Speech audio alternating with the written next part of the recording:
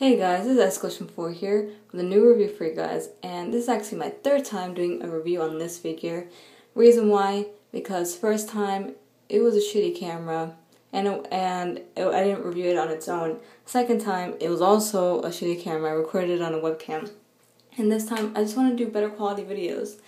So yeah, this is my third attempt to, um, to review the battle damaged um, Goku figure so, yeah, by Jakks. This is from series, I don't remember, 13 or 18, um, where it came with like a battle damage background, you know, scenery, and it came, no, not this one. Yeah, this one came with a battle damage background. I thought it came with something else, but with battle damage background and everything, so, you know, hence the look of Goku battle damaged. I really like this Goku a lot. Um, yeah, I just really do. Um, I remember I got this back on rightstuf.com, Z store. Um, I don't remember how much on there. They were cheap. They were only like 10, 15 bucks for a figure in box. Um, okay, so um, I think first I'm going to show you how tall he is. Here is, you can see that right there.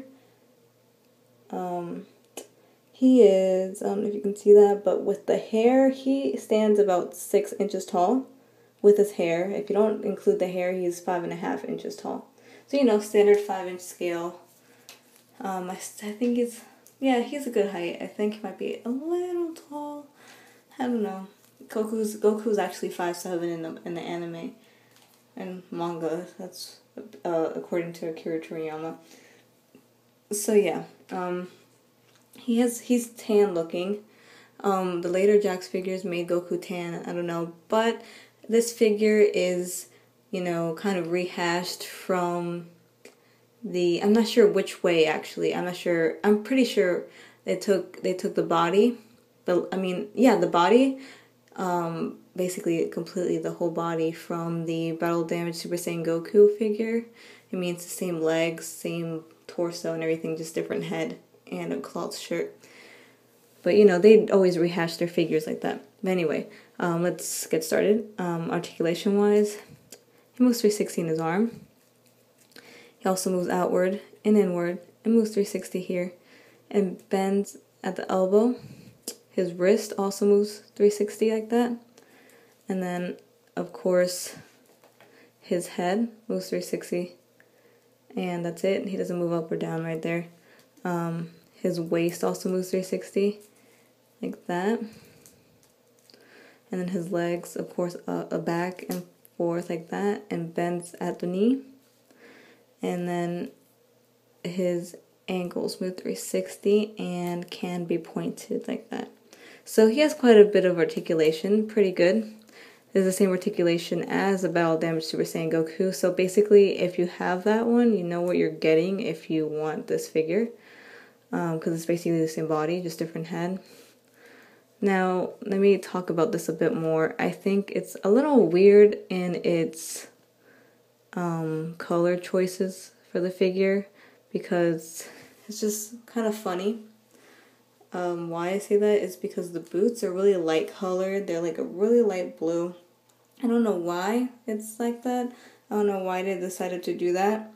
Um, I think it's because they did take the body from the Super Saiyan Goku and I don't know, they just didn't try repainting it to look darker like it should. I don't know, it's like a weird blue. It's really, it's light. And his wristbands are black, which are not supposed to be black. Obviously, everybody knows they're blue. See how his belt's not match the the color of his belt, his sh- and his shirt right there does not match the color of his wristbands or his shoes, which doesn't make any sense. It just I think that it should have been maybe this color wristbands and his shoes, you know, because his shirt matches the color of his belt.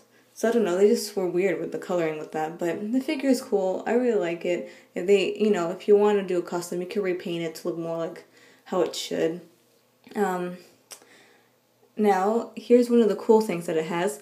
The shirt, let me put a closer look on him, is actually, you can see that here with the flash on, a cloth material. You can see the little, you know, um, like you know the little stitches for the shirt where you know where, where it was stitched on and everything.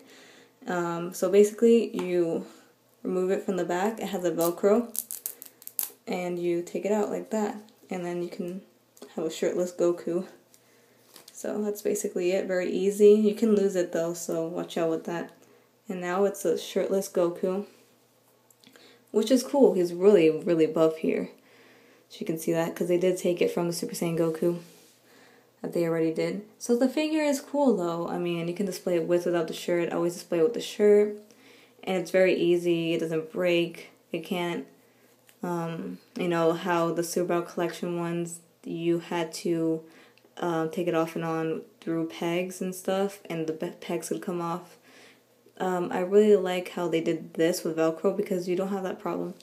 And I think that most, I mean, I think all of them should have been kind of like this with some kind of cloth clothing. I mean, I don't know. It all depends, I guess. Depends on what kind of, what look do you, want for the figure. So, or maybe just don't have it so you can remove the shirt. I don't know. It all depends on your preference, but I like how they did this. It's kind of different. I guess if it was the whole um, top part of a shirt, it would look funny if it was completely cloth. So I guess they did, I did they did good for just making the undershirt cloth. Now that I'm thinking about it, it would look kind of funny if it was completely cloth with you know the, his whole gi was cloth like on the top. I think it would look funny. So anyway, um, that's that. I'll show you a close look of him without his shirt on. Um, for some reason, yeah, it's better. For some reason, mine, my figure, close focus there. I don't know if you can see that. Let me turn off the flash here. You can see it a lot more like this. If you see see that, see his face. For some reason, mine is what came a little sloppy in the paint job. If you can see his eye right there under his eye, they like um, went out of the lines coloring his eye. And in his pupil, you can see that. Don't focus. Okay, if you see his eye right there, it they like went off the line. Like they they colored it his the white part of his eye a little bit of black. And that was not my problem because this figure is straight out of the package.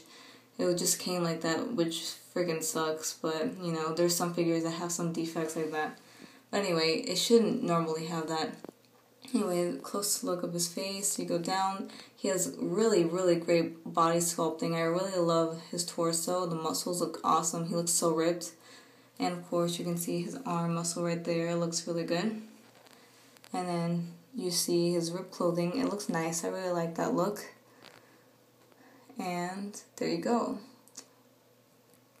And now we'll show you how he looks with the shirt on. So, you know, you slip it back on. This. Hmm.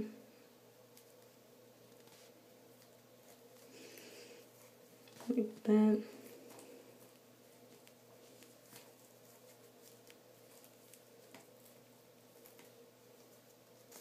Guess it's a little annoying, but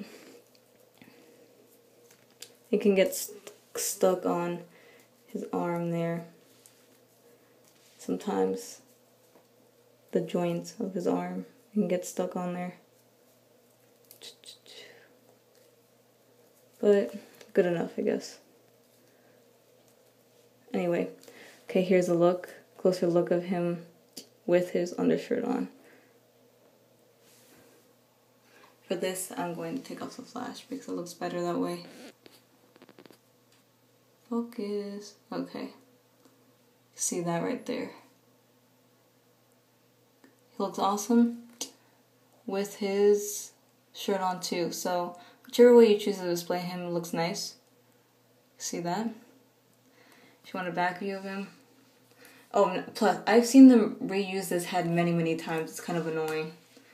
I've seen them. I think i I've seen them use it quite a few times too. They always reuse their heads and body parts. Jakks always did that. They got really lazy. And you see the sculpting behind his head um, has you know sky um, spikes, spikes coming out from the back of his head, right there. So there you go. Um, I usually like it with the flat um, back of his head. I don't know, it just looks better to me. Always did look better to me, in my opinion. But yeah, that's the figure, the battle damaged Goku by Jakks. And tell me what you guys think of the figure. I think it's pretty good. I like that touch they did with the, the clothing. And yeah, um, hope you enjoyed this review. And until my next one, guys, peace.